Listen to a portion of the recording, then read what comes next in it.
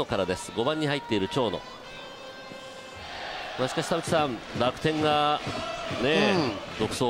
そうですね。本当に今までちょっと打線の弱さっていうものがね、えー、ホームランも少なかったですけど、はい、この2人の外国人入って、うん、今日則本というですね新人のピッチャー頑張ってますけど、はい、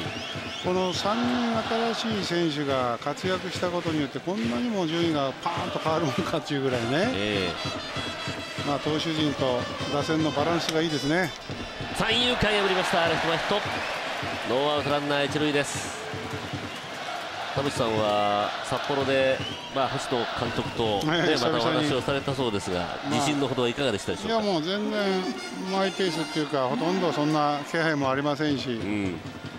まあ、あまり野球の話は彼はしませんし、えー、まあ、私がいろいろ質問してもああそうやなぐらいしか。なるほどね。まあ心の中ではね、まあ、あれ持ってますけど。まあ、3年目でやっとその若い選手のね、はい、あのプレーっていうか自信持ってますよ。